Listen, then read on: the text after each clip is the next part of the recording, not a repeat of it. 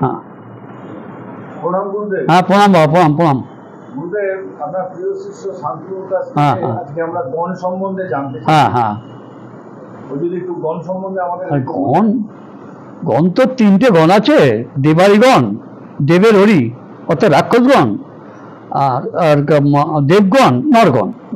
নরগণ। মানে যে মানুষ দেবগণ হচ্ছে ভগবান আর রাক্ষস হচ্ছে দেবারিগণ দেবারিগণ বা রাক্ষসগণ। হ্যাঁ। এই তিনটে নিয়ে চিরকালই একটা এ আছে এবং বিয়ের সময় দেখা যায় আমার কাছে অনেকে আসে যে রাক্ষসগণের সঙ্গে দেবগণের বিয়ে হচ্ছে। হ্যাঁ দেবগণের সঙ্গে দেবগণের বিয়ে হচ্ছে ইত্যাদি ইত্যাদি। তা এখন কথা হচ্ছে যে এইটা কোনো ব্যাপার নয়। ওই রাক্ষস মানে নরগণকে খেয়ে ফেলে। এইসব কথাগুলো শুনতে হয় আমাদের। তো যাই হোক, এখন আমি আমি তো যতটা বলি না বলি, শান্তনু ব্যাপারটা পরিষ্কার করে দেবে, গণ সম্বন্ধে। হ্যাঁ হ্যাঁ হ্যাঁ। তো আমাদের জ্যোতিষশাস্ত্রে গণ সম্পর্কে অনেক ভ্রান্ত ধারণা রয়েছে মানুষের মধ্যে। তো আমরা বিষয়টাকে জানি না বলেই এই ভ্রান্ত ধারণা আমাদের মধ্যে কাজ করে। তো গণ বলতে আমাদের রাক্ষসগণ, দেব মানে দেবারিগণ আর নরগণ আর দেবগণকে বলা হয়েছে। হ্যাঁ হ্যাঁ হ্যাঁ। এই তিনটে গণকে রিপ্রেজেন্ট করছে আমাদের ব্রহ্মা বিষ্ণু মহেশ্বর। তো আমরা তিনটে লোকের নাম শুনেছি। ত্রিলোক যেরকম স্বর্গ মর্ত পাতাল। এই তিনটে লোকের নাম শুনেছি। তো আমাদের স্বর্গমত্ত পাতাল তো গেল। এ তো বিশাল বড় সাম্রাজ্য। এই সাম্রাজ্যের দায়িত্ব কে নেবে? চালাবে কে? তো স্বর্গে আমরা সবসময় দেবতাদের স্থান দিয়েছি তো- তো আমরা স্বর্গে দেবতাদের স্থান দিয়ে- দিয়েছি। আর আমরা আমরা মর্তবাসী হতে পারি, আমরা পাতালবাসী হতে পারি। তো, দেবতারা পূজিত হচ্ছে কাদের দ্বারা? মর্তবাসী এবং পাতালবাসীর দ্বারা। তো, এই গেল এক কথা, ভালো কথা। ঠিক আছে। তো, আমাদের কালপুরুষের বারোটা রাশিকে মেষ থেকে মিন পর্যন্ত আমাদের তিনটে স্থির দ্বৈত এবং আমাদের মুভেবল চলমান। সত্তায় ভাগ করা হয়েছে। হ্যাঁ হ্যাঁ হ্যাঁ স্থির দ্বৈত এবং চলমান। এবার স্থির কাদের বোঝাচ্ছে? স্থির মানে হচ্ছে আমরা স্বর্গকে ধরে নিচ্ছি আমরা স্থির। সেটা ফিক্স সেটা সবসময় দেবতা দেবতা দেবতা ফিক্স জায়গা আর আমাদের চলমান মানে হচ্ছে মুভেবল যাকে আমরা চর বলছি চর রাশি আমাদের। কালপুরুষে বারোটা রাশিকে তিনটে চরে করা হয়েছে। হ্যাঁ। যেরকম স্থির দ্বৈত এবং চর চর হ্যাঁ। মানে হচ্ছে মুভেবল যে চলছে সবসময়। পাতালকে বোঝানো হচ্ছে যে হ্যাঁ। সবসময় মুভ করছে চলছে।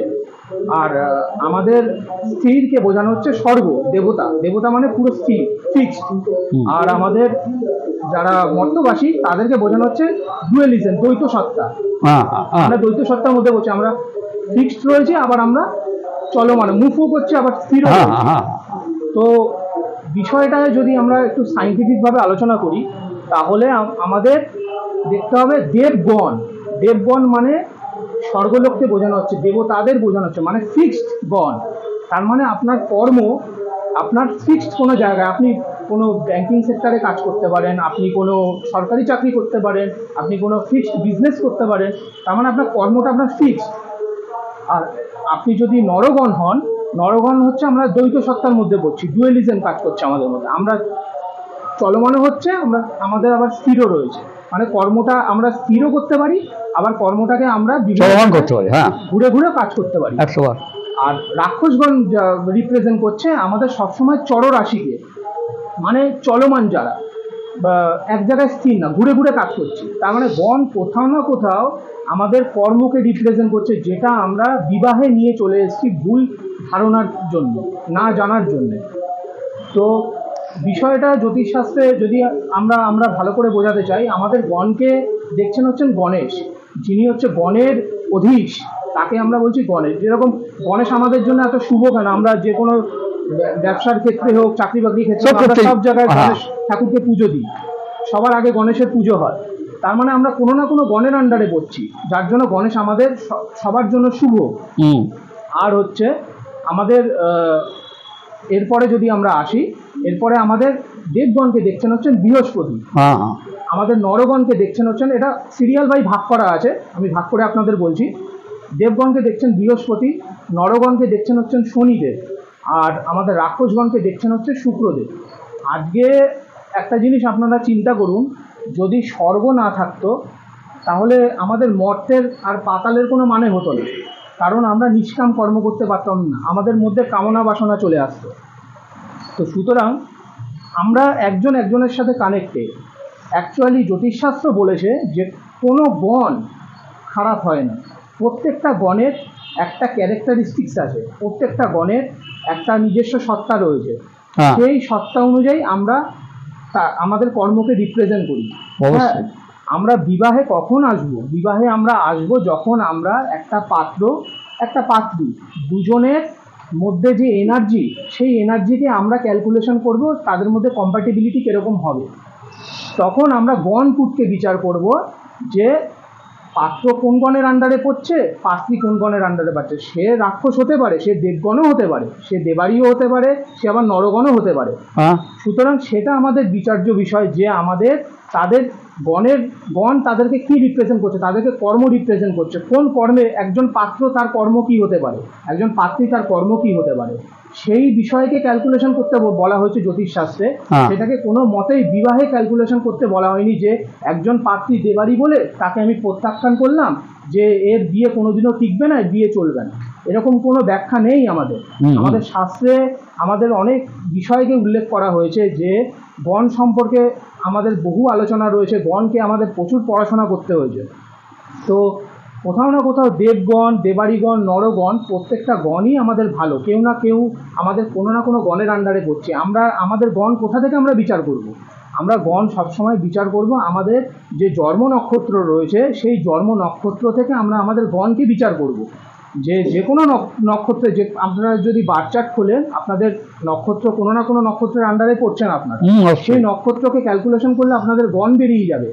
সুতরাং আপনারা বাড়িতে একটা গণেশ ঠাকুর রাখতে পারেন বা গণেশের পুজো দিতে পারেন বা আপনারা যদি দোকান দোকানপাটে আমরা যেরকম গণেশ লক্ষ্মীর হ্যাঁ। ফটো রাখি পুজো দিই তার মানে আমরা কোনো না কোনো গণের আন্ডারে পড়ছি আমাদের বিষয়টাকে এইভাবে জ্যোতিষশাস্ত্রে বোঝানো হয়েছে যেটাকে আমরা কোথাও না কোথাও ভুল ভ্রান্তি একটা আমাদের মধ্যে কাজ করছে। হুম। তো আজকে কর্মের কথা যদি বলতে যাই আমাদের মহাভারতে যখন যুধিষ্ঠির স্বর্গদ্বার অব্দি পৌঁছালো তখন কোথাও না কোথাও তাকে নরক দর্শন করতে হয়েছিল। হ্যাঁ, হয়েছে। কারণ তার কর্মে কোথাও না কোথাও খামতি ছিল। তার মানে জ্যোতিষশাস্ত্র আমাদের বারে বারে বোঝানো হচ্ছে তুমি তোমার কর্মকে ঠিক করো। যা যার ওপর বিচার হবে যে তুমি স্বর্গ লাভ করবে না তুমি নরক নরক, হ্যাঁ। সুতরাং বিষয়টা বিষয়টাকে আমি আপাতত এই ভিডিওর মাধ্যমে আপনাদের কাছে পৌঁছাতে পেরেছি বোঝাতে পেরেছি। তো আমি তো দেখি যে আপনারা ভিডিওর মধ্যে অনেক কিছু কমেন্টও করেন।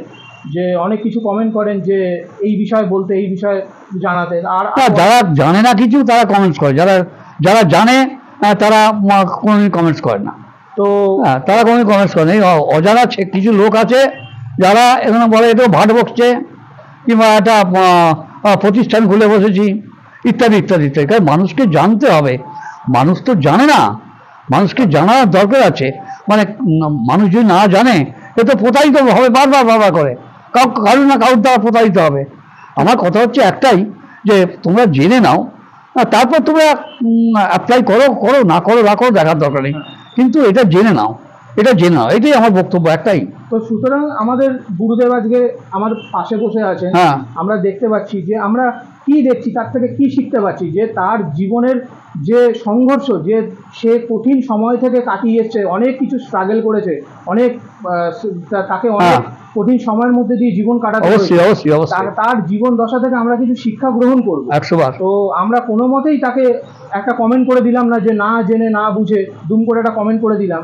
তার প্রতি সবসময় সম্মান এবং শ্রদ্ধা রাখব যে যে গুরুদেব এখনও সে বয়স হয়ে যাওয়ার পরেও সে মানুষের কল্যাণ করছেন, মানুষের জগৎ সেবা করে যাচ্ছেন। আপনাদের জন্য, পরি টোটালটাই আপনাদের জন্য। না হলে এই ভিডিওর মাধ্যমে বলার কোনো মানে হয় না। তো সুতরাং আজকে গণকে আমি বোঝাতে পেরেছি, গণের, দেখুন, একটা, সবসময় গণকে ক্যালকুলেশন কীভাবে করবেন? তীরের সাথে চরের বিয়ে হচ্ছে। দ্বৈতের সাথে চরের বিয়ে হচ্ছে, বা চরের সাথে স্থিরের বিয়ে হচ্ছে। এইরকম ভাবে ক্যালকুলেশন করবে। কখনো একটা দেবের সাথে দেবাড়ির বিয়ে হচ্ছে বা একটা না অনেক বিয়ে ভেঙে গেছে আমি জানি শান্তনু যে একটি মাত্র করেন রাক্ষসগণ আর দেব এই নরগণ। হ্যাঁ। বলছে যে রাক্ষস তো নরগণকে খেয়ে ফেলবে। আর রাক্ষসরা তো মানুষ খায়। তাই তো। রাক্ষসরা মানুষ খায় অতএব এখানে বিয়া হবে না বিয়ে ভেঙে গেছে। তো গম নিয়ে গম নিয়ে একটা ছোট্ট জিনিস নিয়ে ভেঙে গেছে। ভেঙে হ্যাঁ, এটা না জানা বল। এটা এটা মানুষের মানুষের কোথাও না কোথাও ভুল ধারণার জন্য আজকে আমরা গণকে দোষ দিয়ে ফেলছি। আমরা জন্মচক্রে যদি ঠিকভাবে ক্যালকুলেশন করি আমাদের গণ কোনো গণের কোনো দোষ নেই। আমাদের দোষ হচ্ছে জন্মছকে আমাদের বিবাহে বিবাহের ক্ষেত্রে আমরা বিবাহকে বিচার করব। আর কিছু না আর কিছু না আর কিছু না। আমাদের পরিষ্কার প্রথম থেকে একদম অবকাহারা চক্র থেকে আমরা বিবাহকে বিশ্লেষণ করব। আমরা কোথাও কখনো গণ নিয়ে আমরা বলতে বলব না যে এই গণ গণের ব্যক্তি এ খারাপ হতে পারে। সুতরাং আপনারা সবসময় এনার্জিকে বুঝবেন। এনার্জির মধ্যে একটা এনার্জির সাথে একটা এনার্জির বিয়ে হচ্ছে। তার কম্পেটিবিলিটি কীরকম তার আন্ডারস্ট্যান্ডিং কীরকম হবে? সেই বিষয়টাকে বোঝানো হয়েছে জ্যোতিষশাস্ত্রে। তো আমাদের জন্মছকে তিনটে সত্তা থাকে। একটা ব্রহ্মসত্তা একটা বিষ্ণু সত্তা একটা মহেশ্বর সত্তা। মানে ব্রহ্মসত্তা মানে সৃষ্টিকর্তা ক্রিয়েটার ব্রহ্মা। সে মানে বাচ্চা যখন জন্ম হচ্ছে তখন ব্রহ্ম সত্তাকে বোঝানো হচ্ছে। তারপরে যখন বাচ্চা আস্তে আস্তে বড় হচ্ছে মানে বিষ্ণু মানে পালনকর্তা সে বাচ্চা যখন বড় হয়ে আস্তে আস্তে তার কর্মজীবন সে বিষ্ণু বিষ্ণু সত্তাকে বোঝানো হচ্ছে। আর যখন কর্মজীবন সেরে যখন সে বার্ধক্য হলো যখন তার বয়স হলো তখন সে আস্তে আস্তে করে ভগবানের প্রতি তার আসক্ত হলো তার ভগবানের প্রতি ধ্যান জ্ঞান হলো তারপরে তার মৃত্যু অবধি সে তাকে সেটাকে বোঝানো হচ্ছে মহেশ্বর সত্তা। তো হ্যাঁ। অনেক কিছু আমাদের জ্যোতিষশাস্ত্র শেখায়। তো আশা করব আপনারা আস্তে আস্তে করে আমি আরও এপিসোডে বলব। আস্তে আস্তে করে আপনারা বুঝতে পারবেন যে অ্যাকচুয়ালি ক্যালকুলেশনটা কি হয় অ্যাকচুয়ালি জন্ম থেকে মৃত্যু পর্যন্ত একটা একটা এ আছে তো একটা সার্কেল আছে তো হ্যাঁ। জন্ম থেকে মৃত্যু পর্যন্ত হ্যাঁ তা সেইটা তুমি যদি একদিন বলো হ্যাঁ, ভালো হয় যে। যখন জন্মালো। সে কিসের মধ্যে জন্মালো। বা কি গৌণ করতে জন্মালো বা কি করণীয় তার আর তারপরে তার তার মানে ভবিষ্যৎ কি আছে এগুলো কিন্তু সব ডিকটেট করে দেওয়া হয় ঠিক আর ঠিক মতো যদি কেউ মানে এ করে গণনা করে আমার মনে হয় সে সব কিছু বলে দিতে পারে। কিন্তু গণনাটা ওইভাবে তো আর এখন হয় না। আগে তো হাতে হতো এখন তো কম্পিউটার ফেলে হচ্ছে। হ্যাঁ একটা গদের মধ্যে ফেলে দিয়ে হচ্ছে। আগে হাতে হলে প্রায় ছ মাস টাইম নিত একটা একটা একটা ঠিকুজি করতে পাঁচ ছ মাস টাইম নিত লোকে। হ্যাঁ এবং পারফেক্ট হতো একদম পারফেক্ট ঠিক কথা। তো সেটা এখন আর হয় না। যাই হোক সেটা হোক আর না হোক এখন এটা নিয়ে আমাদের চলতে হবে। আমি আস্তে আস্তে আপনাদের সব বলব যে আমাদের জ্যোতিষশাস্ত্রকে কে লিখেছেন কে কোথা থেকে এলো আমাদের বেদ কে লিখেছেন কোথা থেকে এলো আস্তে আস্তে আপনাদের সমস্ত কিছু জানাব টোটাল হিসেবটাই আপনাদের বলব। তো আশা করি আপনারা আজকে গণ নিয়ে আপনাদের এই ভ্রান্ত ধারণা থেকে অনেকটা হ্যাঁ, বেরিয়ে হ্যাঁ, আসতে হ্যাঁ, পারবেন। হ্যাঁ। ঠিক ঠিক ঠিক ঠিক ঠিক। হ্যাঁ। হ্যাঁ হ্যাঁ হ্যাঁ হ্যাঁ হ্যাঁ দর্শকেরা অনেক কিছু জানলেন শিখলেন। হ্যাঁ হ্যাঁ। হ্যাঁ হ্যাঁ।